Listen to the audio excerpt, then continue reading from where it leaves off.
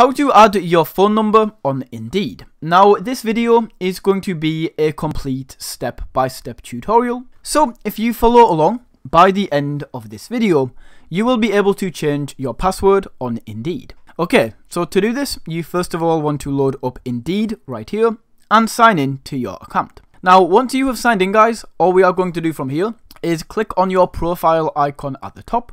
And then once this drop down menu opens, uh, just go ahead and click, whoopsie, just go ahead and click into settings. That is going to take you over to this area right here. So all we need to do is come down to phone number, click on add phone on this right hand side. And then from here guys, all you have to do is enter in your phone number. You will then get sent a verification code that you can confirm. And that is how you can add your phone number to Indeed.